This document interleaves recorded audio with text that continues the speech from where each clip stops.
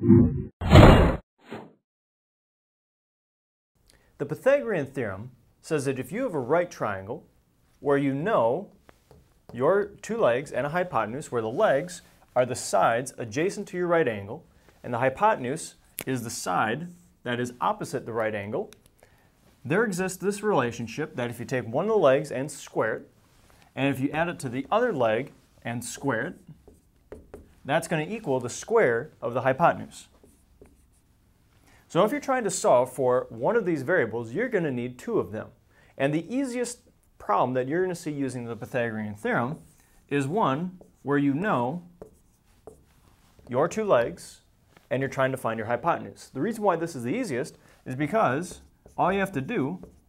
is substitute in, and then you can square it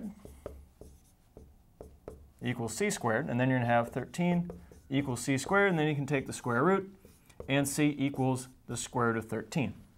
So I didn't have to do any manipulation there. All I had to do was plug in my two legs and then solve for my hypotenuse.